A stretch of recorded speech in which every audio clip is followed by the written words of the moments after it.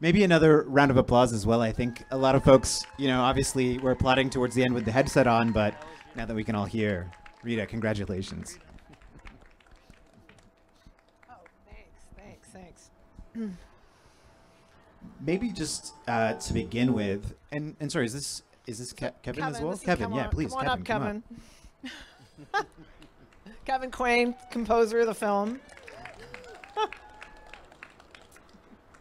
Um, maybe just to begin with, there are a couple of instances in the film where you talk about this being something that you wanted to do for 20 years. Yeah. Uh, so I'm wondering what was the catalyst to finally be like, okay, I've wanted to do this for a long time. Now it's finally got to happen. Uh, so, um, you know, I planted trees for 10 years.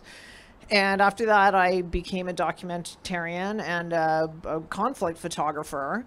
And when I was working in conflict zones, people used to ask me what prepared me for that work. And one of the things I told them was tree planting in Canada, which surprised them because tree planting didn't sound all that hard to them. And actually at one point my my agent in New York actually said you should take this tree planting thing off your CV because it looks so trivial compared to your other accomplishments and I just thought you know one day I want to make a project about this that will really try and give an immersive experience about what tree planting is like and I think I've come some distance to that but but the truth is that tree planting is a lot harder than it looks and even in this film but uh, the the catalyst really was in 2015. I had just come back from a trip. I'd spent a couple of months living in Hebron and Palestine. It's a very uh, rough place, and uh, I had, was having a big show about a project I'd done in Afghanistan, and I I was coming to the end of my sort of own emotional tolerance for the kind of work I was doing, and I felt I needed to do something that that had the potential of being uplifting. And I remembered that tree planting had offered me this kind of strength, and I wondered, you know, is that just how I remember it? Will I go back and be disappointed? But I had to find out, and so. I, I went back to see if it could it could sort of bring me back and give me things that I had maybe lost grasp of and so and it and it did it did deliver for me And so I'm sure, obviously, the the, the photos were uh, a, a natural undertaking. But how did you decide that you needed to go beyond the, the, the still image documentation and, and really kind of create this this this moving portrait of this community? uh, so yeah I've been a still I've been a still photographer a lot longer than uh, a filmmaker I made a short film in uh, 2013 and Darby McInnes who edited Forest for the Trees who's sitting over here. Uh, Darby uh, also edited yay Darby! Um, it was 15 months of editing by the way. Um, Darby had edited my short film uh, about bomb shelters in uh, in Israel, and so I, well, well, basically it's the technology. the The moment that stills cameras started having video in them, stills photographers suddenly you're out there in the field, and because it's in the device that you're carrying, you're naturally going to start segueing into making film, and so a lot of still photographers have started making films and I and we have a distinct way of working. Like this is very much a photographer's film and uh, and then of course there's the audio as well and that's like a whole other you know whole other really exciting thing. Like it adds all these incredible layers and control because now suddenly you know if someone goes to an art gallery you don't know how long they're going to look at your pictures and you make a film and you have so much control over what people are looking at and what they're listening to Yeah, I mean, obviously, once you're making a, a moving image work, uh, that tends to also involve sound, and then uh, you know you bring music into it. And so I'm curious about your collaboration with Kevin and how that came about. Yeah. So, uh, well, I'll. st- I, can I start? I, I always do.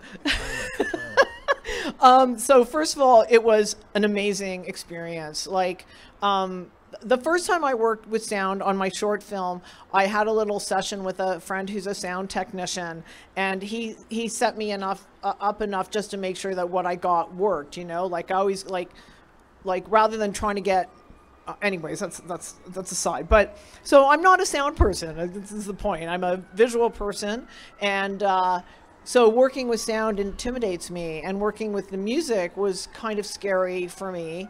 And but Kevin and I have been friends since we were 18. We met in an English class at the University of Toronto, and uh, we're, we're this tall. We're this tall. And, uh, and I'd been following his career for many years, and we'd stayed friends over the years, sort of on and off.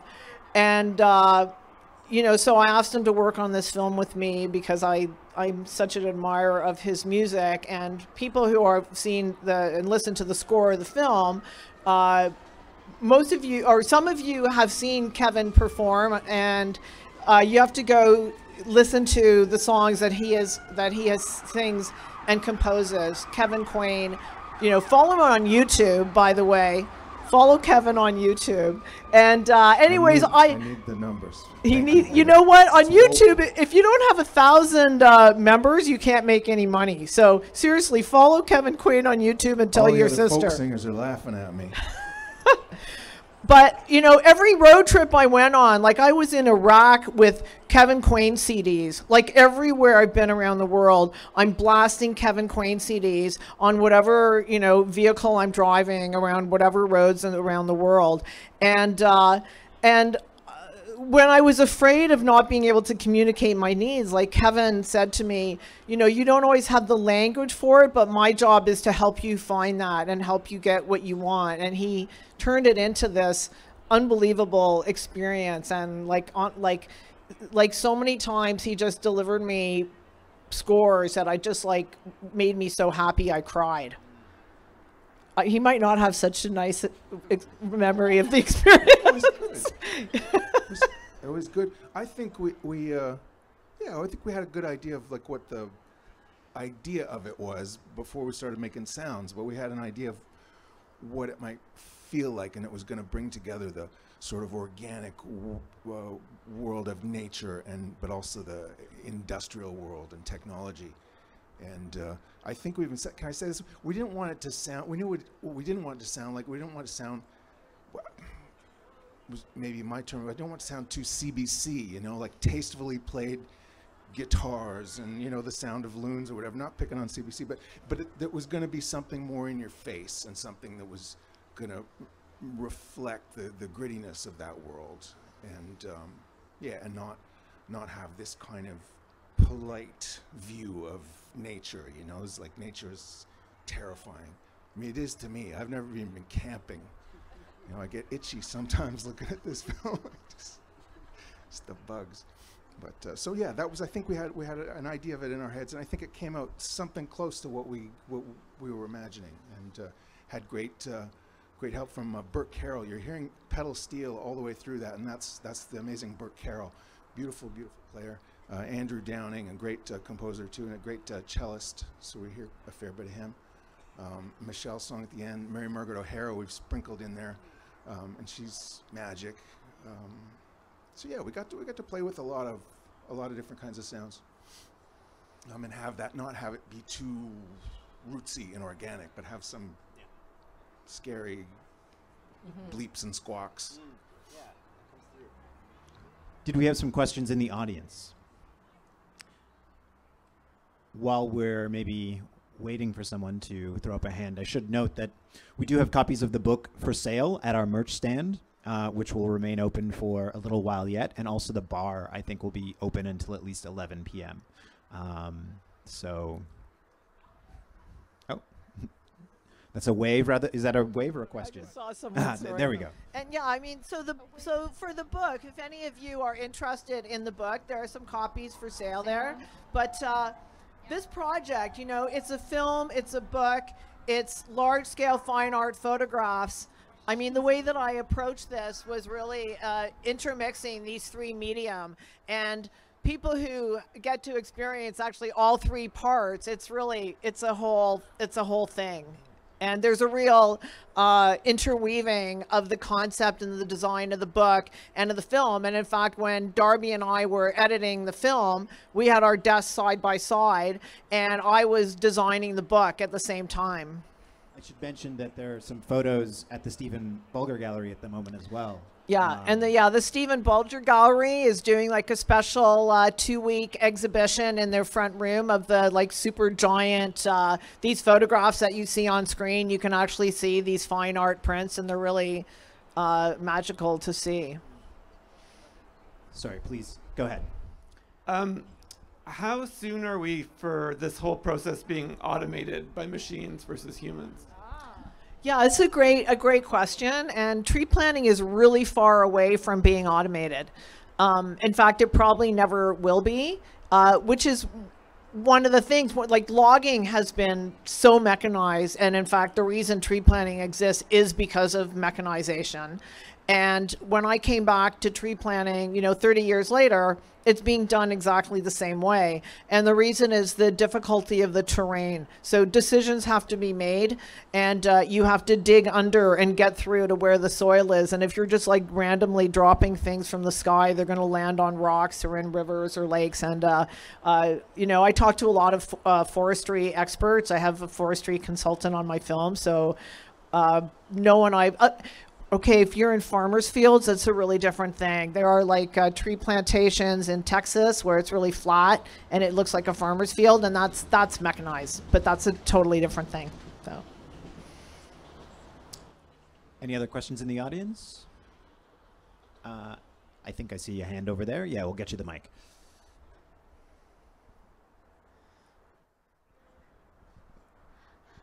Do we have any tree planters here with us at the screening? And if so, are they are they going back next year? So yeah, sorry. This is usually the first one of the first things we ask. But how many tree planters in the audience? Some of them have gone drinking somewhere. Some are still here. Um, and how many people are related to tree planters? Yeah, a lot, lot, yeah. Um, actually, picking up on the previous question, I was curious about the relationship between uh, the logging companies and then the people that are organizing the, the planting. What, what exactly is that relationship? How are those Mm-hmm. organizations connected, if at all? Uh, okay, so the relationship between the logging companies and the tree planting contractors is something that's uh, pretty uh, it, uh, unique to Canada, and that's partly why this whole tree planting subculture exists. Because in Canada, the land is owned by the government; it's crown land. In the United States, the land that's being logged and planted is owned by the logging companies themselves. So up in Canada, uh, and actually originally in the west coast of the U.S. as well. In the 70s, when mechanization, uh, you know, uh, explodes and the technology changes radically, and suddenly the need for more tree planting becomes uh, urgent. Uh, a group of young people from Western, mostly from Western Canada and USA, they're mountaineers, they're alpine ski racers. They get this idea that they could plant more trees than loggers do by treating planting like uh, a sport. And so they invent this concept of like sport uh, tree planting and they the first thing they do is they tailor make the shovels they make the handle shorter they change the blades they build different bags for their putting around their waist and they build their camps in the middle of the cut block. But they had put these contracts out. So the canadian government in i think it's around 1970 early 70s says okay we're going to commit to planting 10 times more trees. They've recently done it with you know they're saying they're going to plant all these billions more trees. So we're in another sort of turning point like that. But um, but they don't know how they're going to do that. And these tree planters or these young people see a window and no one has told them they can't bid contracts. So they bid on these contracts and the logging companies are like, what the hell? Like who are, but they couldn't stop it. And so they started taking these contracts and lo and behold, they planted unbelievable amounts of trees that no one had ever seen or imagined before. And that's still how it's done. That's, sad. that's really remarkable. Uh, did we have some more? Qu- oh, I think I see a hand there. Yeah. go ahead. Yeah. Do you know what's the percentage of survival of the trees? Uh, it uh, you know it depends on things like the climate and uh, sometimes there could be a forest fire like the same summer and the trees you planted are already gone but uh, it's actually really really high like it's in the it's in the 90 percentile and the uh, quality is very closely monitored and there are people who go back multiple times a year checking on the land making sure the trees are growing doing you know scientific assessments trying to figure out how to change and improve planting for the future.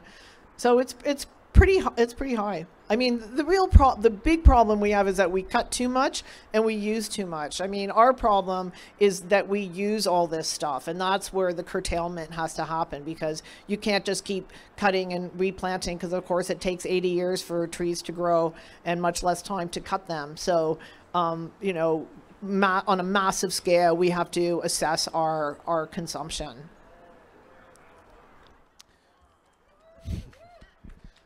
Just looking I have a question. Uh, oh, Um, go ahead. I'd like to know, as a storyteller, at what point did you know that you wanted to incorporate yourself into the story? Or was that a decision that was made at the beginning, or was that a decision that was made in editing? Um, I I knew that I wanted the film to be about photography from the beginning because uh, as as uh, um, as interested Uh, as I had become in trying to explain to people how difficult tree planting was, I also spent a lot of time, you know, as a professor of photography and teaching photography and talking about photography, trying to explain to people how hard photography is, and and it seemed like the perfect kind of parallel analogy. So from the outset, I wanted the film to show that. And to show the photography, I had to be in the film making photographs. And the first year, I didn't have anybody else to take pictures. I ended up like the, well, the, the cook.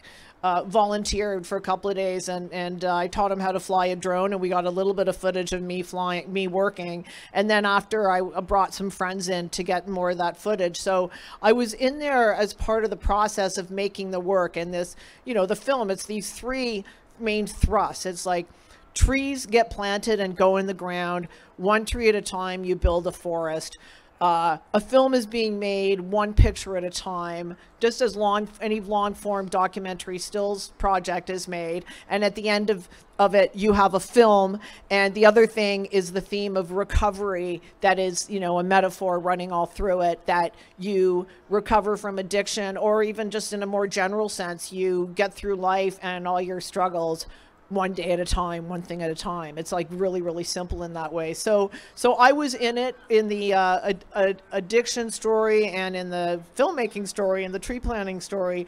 I collected tons of video of myself just in case, and also so I would remember what was going on. And I've always kept journals, so they just were video journals.